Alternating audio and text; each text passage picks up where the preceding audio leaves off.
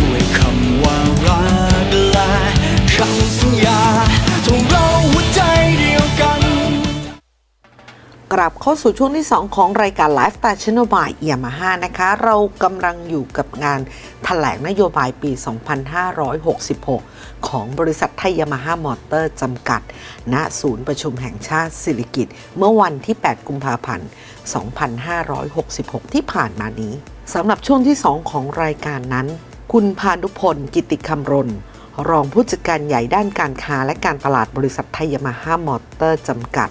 ได้ขยายความหมายคอนเซปต์ของคำว่า Road to Success ในปี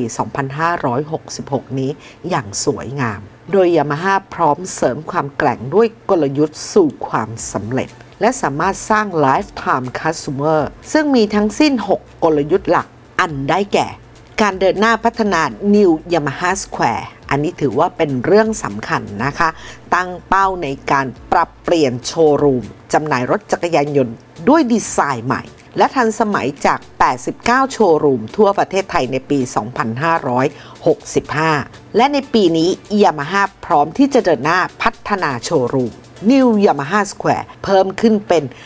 170 สาขาทั่วประเทศไทย เพื่อเป็นการยกระดับการขายและการบริการ เพิ่มความประทับใจและความพึงพอใจให้กับลูกค้า กลยุทธ์ต่อไปนั่นคือการเสริมความแข็งแกร่งพัฒนาบริการหลังการขายในระดับโปรแคร์สร้างความแตกต่างของการบริการและก็เพิ่มความเชื่อมั่นของลูกค้าด้วยการวิเคราะห์ปัญหาด้วยเครื่องมือ Yamaha Diagnostic ได้อย่างถูกต้องและชัดเจน สามารถเก็บข้อมูลเข้าสู่ระบบ ID Card Reader พร้อมกับการแจ้งเตือนการเข้ารับบริการผ่านช่องทาง Line OA กลยุทธ์ต่อมานั่นคือการพัฒนากิจกรรมไลฟ์สไตล์กลุ่ม Yamaha Club โดยเพิ่มกิจกรรมที่ตอบโจทย์แล้วก็โดนใจของกลุ่มลูกค้า Yamaha ได้อย่างหลากหลาย พร้อมสนับสนุน Customer Club ในทุกพื้นที่ และสร้าง community ที่แข็งแกร่งเพื่อสร้างความประทับใจและความผูกพันตลอดจนสามารถรับสิทธิพิเศษต่างๆ ได้ผ่านทาง แอปพลิเคชัน Yamaha Smart Reward กลยุทธ์ถัดไป ยกระดับประสบการณ์ลูกค้า ด้วยการตลาดในรูปแบบ digital marketing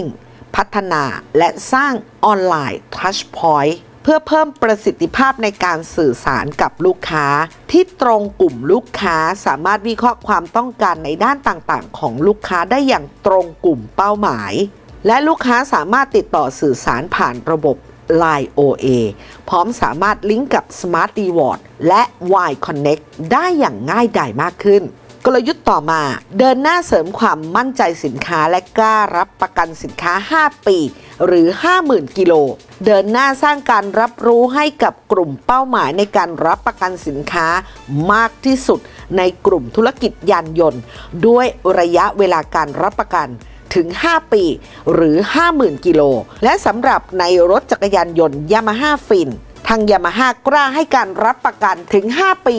โดยไม่จำกัดระยะทาง เพิ่มความเชื่อมั่นในการตัดสินใจในการซื้อสินค้า เพื่อที่จะได้รับงานบริการที่ดียอดเยี่ยม กลยุทธ์สุดท้ายนั้นเป็นการเดินหน้าการตลาดเฉพาะกลุ่ม โดยเป็นการใช้กลยุทธ์ให้เหมาะสมในแต่ละเซกเมนต์ ตรงตามความต้องการ เพื่อเข้าถึงและโดนใจ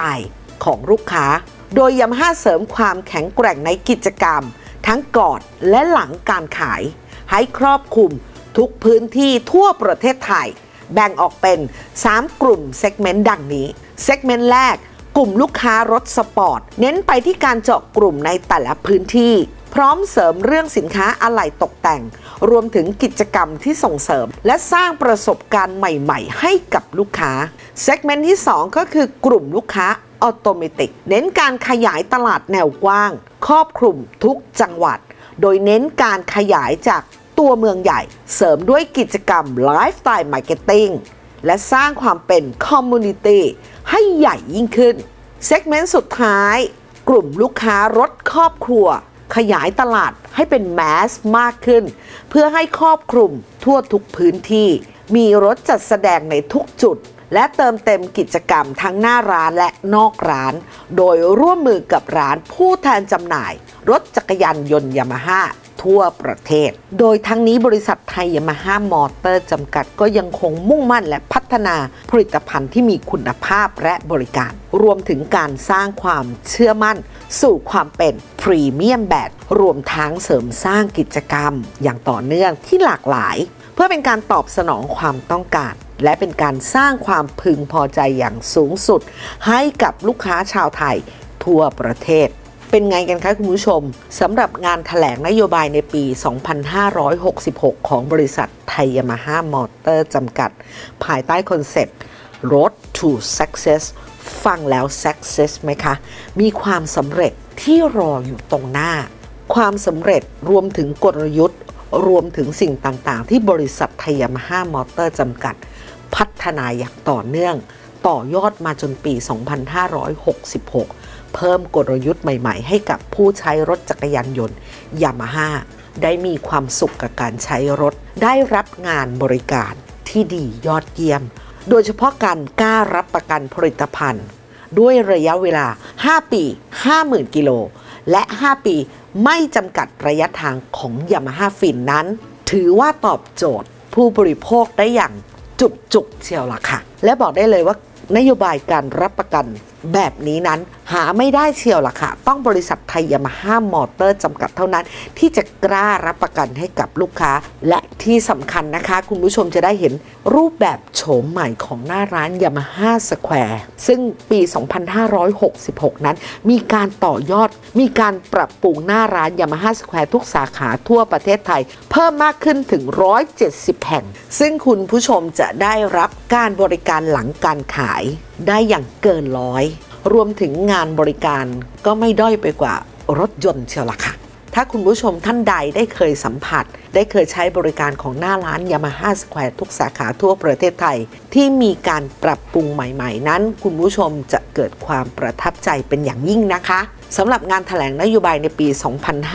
2566 โดยบริษัทไทยยามาฮ่ามอเตอร์จำกัดในวันที่ 8 กุมภาพันธ์ 2566 นั้น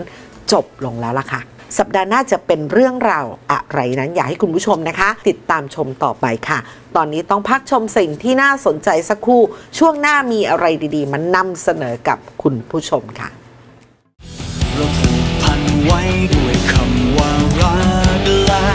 คำสัญญา